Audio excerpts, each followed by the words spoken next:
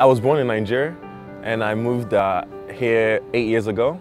So pretty much started high school here. And you know, I was a high school student and I just started running track.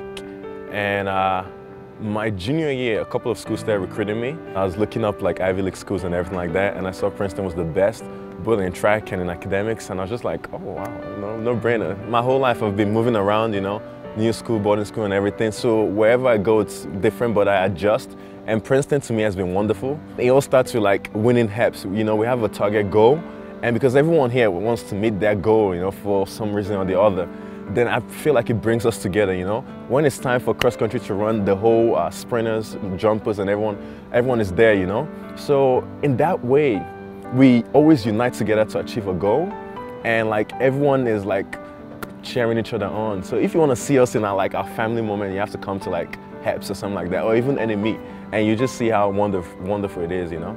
For TAGD Talks, I'm Carrington Akosa.